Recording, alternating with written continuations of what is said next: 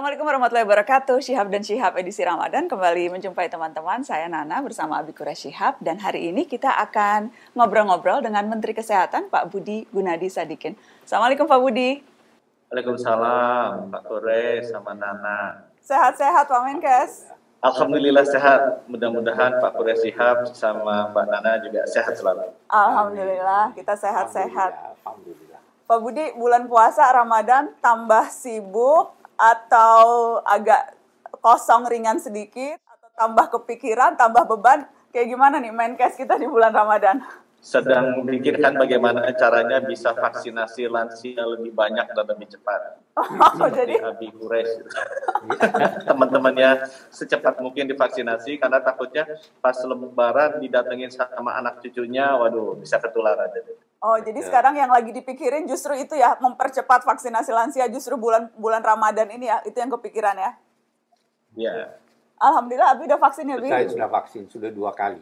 Dan alhamdulillah, ini Abi Alhamdulillah. efeknya ringan sekali. Eh, Abi ngantuk aja waktu itu nanya. Ya, hari pertama itu hanya ngantuk, Hmm. tapi masih bisa beraktivitas, me- melawan ngantuk masih bisa. Ah, terus yang kedua juga alhamdulillah nggak ada masalah ya. Alhamdulillah, alhamdulillah. Iya, alhamdulillah Abi dan uh, Mama udah vaksin. Jadi uh, mudah-mudahan nanti kayak seperti Pak Budi bilang makin banyak nih uh, orang-orang tua kita yang divaksin terutama bulan Ramadan ini.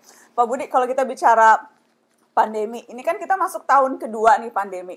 Uh, kalau belajar dari pengalaman uh, puasa tahun lalu, yang Pak Menkes paling deg-degan tuh apa? Selama minimal kalau kita melihat aktivitas masyarakat yang berubah nih selama bulan puasa ini yang harus kita antisipasi.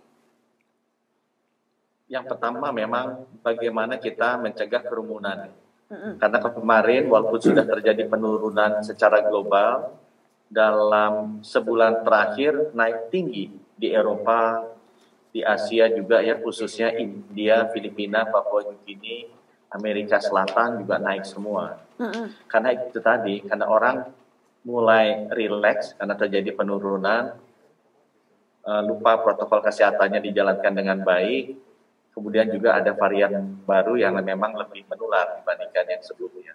Mm. Padahal apa pun variannya, selama kita mentaati protokol kesehatan, pakai masker, cuci tangan, dan menjaga jarak, Hmm. insya Allah harusnya aman. Dan Ramadan dan Lebaran khususnya, terutama dari menjaga jaraknya yang kita mesti hati-hati agar jangan lupa diingatkan. Hmm. Karena kerumunannya banyak kan pada saat Ramadan biasanya. Kalau sholat, taraweh, kemudian nanti pas buka bersama, itu yang mesti dijaga. Mhm, mhm. Ya ini pengalaman kita eh, Ramadan yang kedua ya gitu. Iya. Jadi seharusnya seharusnya kita lebih siap, tapi rasanya memang karena psikologis eh, yang tahun lalu lebih hati-hati, tahun ini mungkin jauh lebih rileks. Abi lihatnya gimana? Oh, iya, memang Se- sebenarnya kehati-hatian itu mestinya selalu menyertai seseorang sepanjang hidupnya. Itulah arti takwa. Takwa itu kan gitu, Pak. Takwa itu berarti berhati-hati menghindar dari segala hal yang bisa menimbulkan eh, ancaman, yang bisa menimbulkan eh, kesulitan, eh, siksa, baik di dunia maupun di akhirat. Hmm. Nah, sayangnya, eh, sebagian kita hanya menduga bahwa takwa itu hanya berkaitan dengan siksa di akhirat.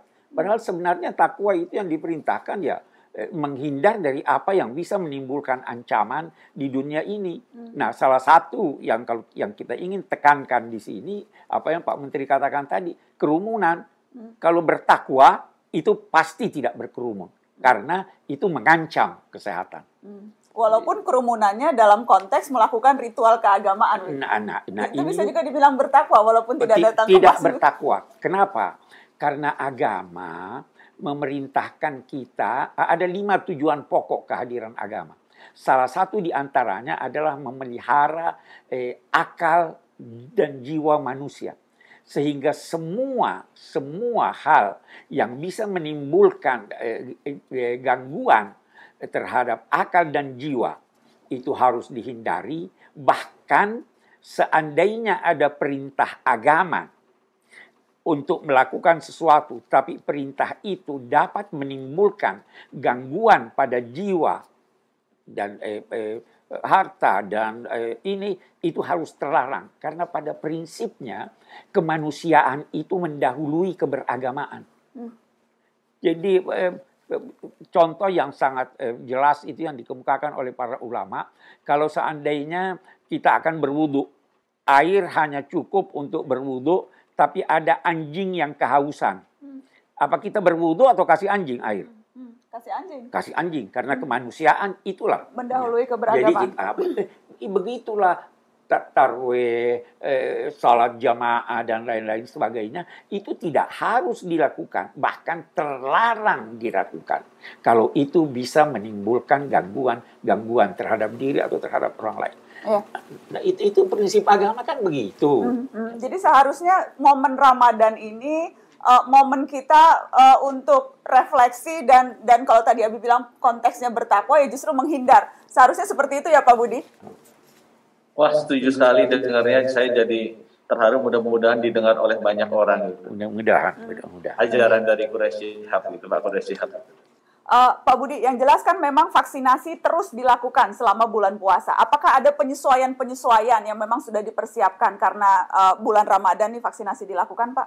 Ya terima kasih Mbak Nana. Yang pertama adalah kita memastikan berkomunikasi dengan MUI dan MUI sudah mengeluarkan fatwa bahwa vaksinasi itu tidak membatalkan puasa. Mhm. Ini penting agar kita tidak mengurangi kecepatan vaksinasi di bulan Ramadan ini karena sangat kritikal kalau melihat yang wafat antara 200 sampai 300 per hari jangan sampai kita terlambat memvaksinasi. Hmm.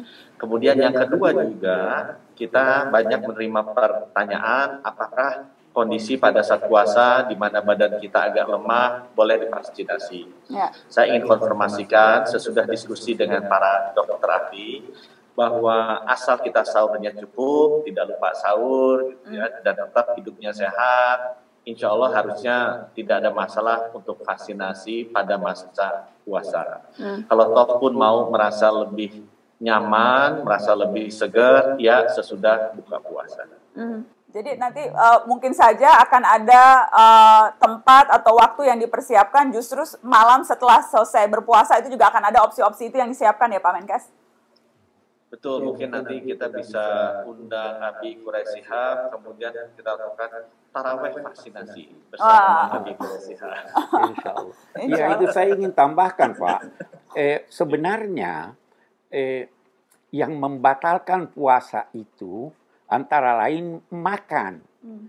bukan sesuatu yang masuk ke tubuh tidak melalui saluran makan. Hmm. Jadi kalau eh, suntik tidak melalui saluran makan itu tidak ini orang mau eh, suntik eh, supaya lebih kuat dan sebagainya itu tidak dinamai makan. Hmm. Itu itu satu ya. Eh, eh, yang kedua, saya kemarin eh, eh, itu mengan, eh, ke, eh, ke waktu vaksin kedua ada seorang eh, tua berpuasa.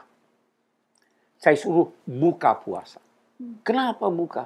Nanti tidak kuat kan ini puasanya masih puasa sunnah. Hmm. Nanti tidak kuat untuk eh, eh, eh, apa namanya dampak-dampak dari vaksin ini sehingga itu membahayakan. Semua yang membahayakan harus kita hindari.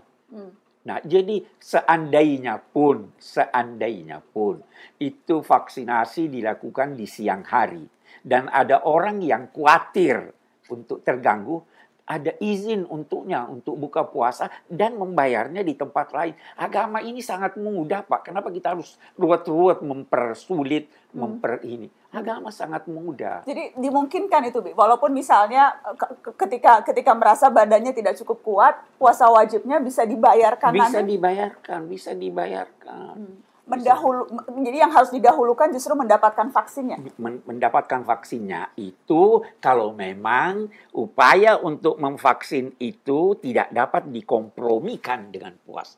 Hmm. Ya. Boleh jadi kalau dapat dikompromikan ya syukur. Tapi kalau tidak dapat, hemat saya vaksinasi didahulukan atas puasa walaupun wajib. Kenapa? Karena yang wajib bisa diganti pada waktu lain. Vaksinasi kalau tidak diberikan dikhawatirkan membahayakan kesehatan dan sebagainya. Tetapi kalau diadakan malam memang justru lebih bagus bagi yang khawatir, saya kira. Hmm, Jadi opsi-opsi itu bagi yang mungkin merasa khawatir ada opsinya, bagi yang tidak. Karena yang penting sekarang mengejar semakin banyak orang yang divaksin ya Pak Budi. Itu target utama kita sekarang. Semakin banyak yang yang terlindungi. terutama yang lansia. Karena lansia ini ada 21,6 juta. Oh. Kita sekarang baru mencapai sekitar 2 jutaan. Agak sulit mau mencapai lansia ini. Pertama mungkin kalah rebutan sama yang muda. Rasa khawatirnya juga tinggi. ya. Tinggi. Dan mereka juga kesulitan bagaimana bisa menemukan tempat vaksinasi. Jadi harus secara lebih aktif baik pemerintah maupun juga teman-teman sekalian bisa mengajak orang tuanya. Saya kayak Pak Kuresihab, saya rasa juga pasti diajak sama anak-anaknya untuk vaksinasi. Saya menghimbau Saya suruh, Anak-anak saya seperti bukan diajak Pak. Saya suruh mereka antar saya.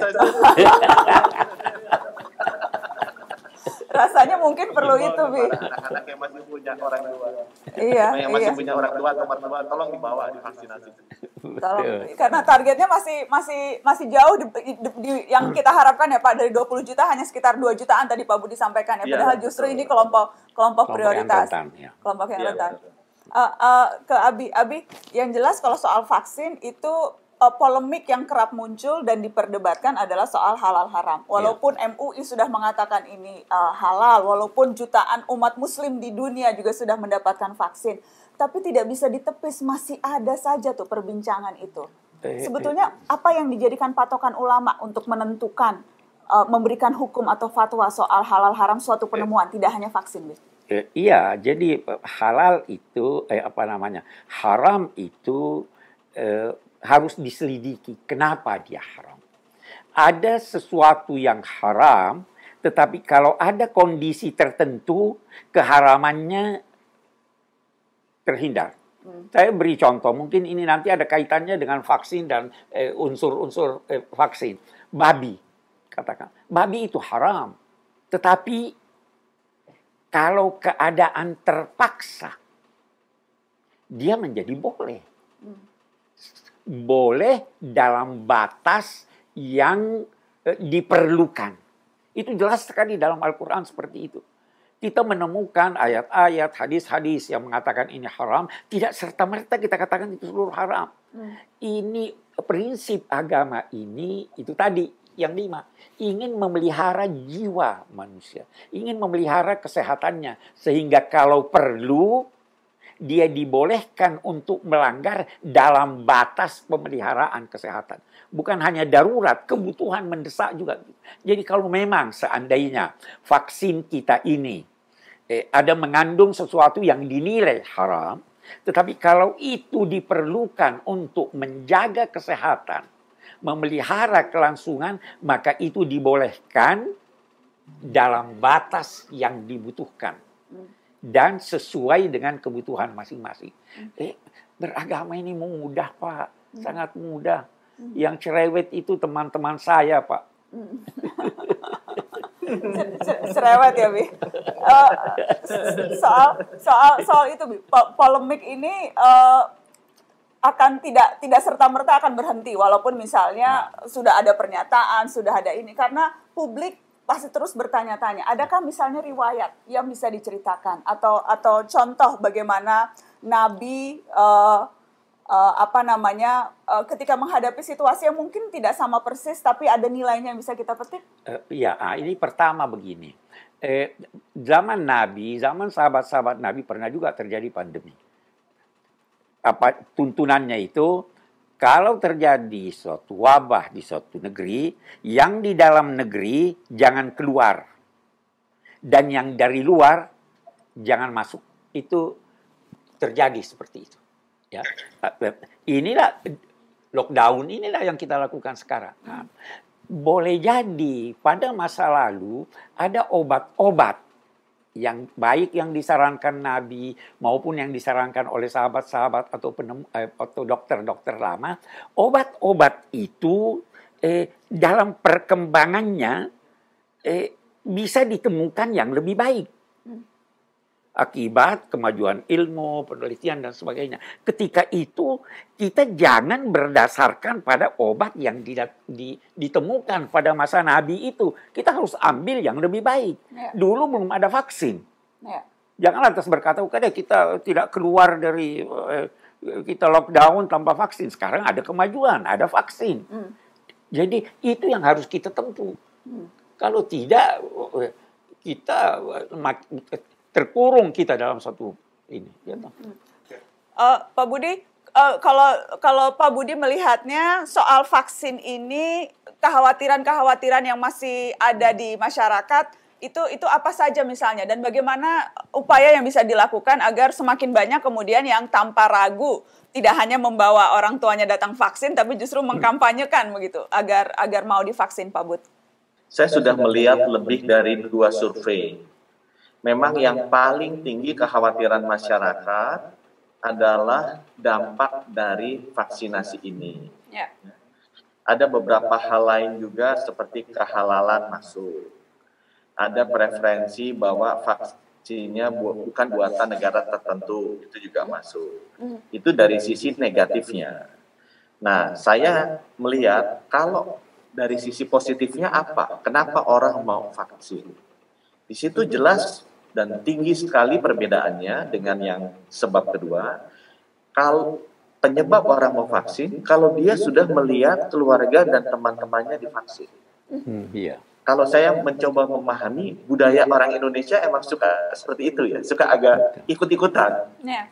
Jadi saya udahlah saya pakai energi saya ke positif side saja.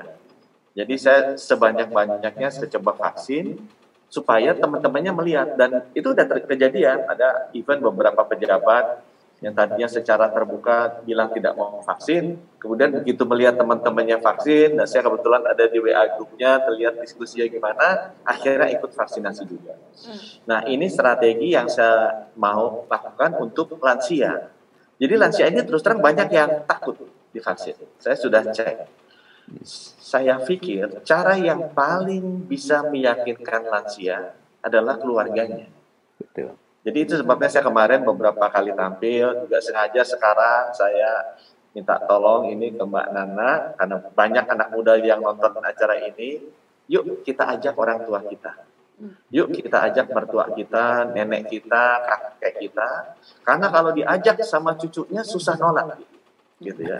Dan kalau diajak datang bareng-bareng pasti beliau merasa lebih nyaman dianterin oleh hmm. anak atau cucu atau keluarga. Hmm. Sempat juga saya membaca apakah masih uh, skema uh, ketika membawa dua lansia kemudian yang membawa walaupun belum masuk kategori umur bisa divaksin sekalian skema itu masih berlaku tidak Pak Menkes? Ya, ya. nanti saya akan keluarkan mudah-mudahan minggu depan apa surat edarannya itu sekali lagi melihat atau merespons apa yang kejadian di masyarakat bahwa masih cukup banyak orang tua yang takut atau khawatir. Kemarin saya datang juga ke Bandung, saya ke Bukit Tinggi, saya lihat juga yang datang biasanya diajak anaknya atau teman-temannya. Jadi datangnya berbarengan, berempat, berlima. Dan kalau saya tanya gimana, ya tadi takut juga sih, tapi karena teman-teman ngajakin, ya udah saya bareng-bareng. Jadi memang di kalangan orang tua ada seperti itu. Itu sebabnya saya menghimbau kalau mengajaknya ke orang tua lagi kemungkinan takutnya lebih besar, tapi kalau menghimbaunya ke anak dan cucunya mudah-mudahan bisa lebih meyakinkan para lansia. Hmm. Pendekatan melalui keluarga, Abi rasa itu juga. Ya, iya, saya kira sangat penting, hmm. penting sekali karena betapapun eh, anak kalau kalau saya selalu berkata begitu pada anak-anak saya dan cucu saya anak itu sekarang lebih banyak pengetahuannya dari orang tuanya. Orang tua mungkin masih ter, ya itu kenyataan seperti itu. Hmm. Jadi kalau anak apalagi yang terpelajar bisa meyakinkan orang tuanya, kakeknya itu akan jauh lebih berpengaruh daripada itu datang dari diri sendiri. Ya. Insya Allah, insya Allah, mudah-mudahan. Oke, okay. uh, eh, Pak Menkes terima kasih sudah uh, bergabung di Syihab dan Syihab episode yang uh, kita bicara soal pandemi dan vaksinasi ini sehat terus buat Pak Menkes mudah-mudahan lancar uh, vaksinasinya Pak. Ya, juga terima kasih buat Mbak Nana sama Pak Kure Syihab. Mohon mudah-mudahan teman-temannya Pak Kure Syihab yang belum divaksin atau belum yakin bahwa mau divaksin atau takut divaksin diajakin Pak Kures. Insya Allah, insya Allah. saling mengajak saling, saling mengajak, mengajak. insya Allah insya Allah terima kasih Pak Budi. Sehat terus ya Pak. Selamat berpuasa. assalamualaikum. Waalaikumsalam. Terima kasih teman-teman sudah menyaksikan Syihab Jam Syihab episode ini. Assalamualaikum warahmatullahi wabarakatuh.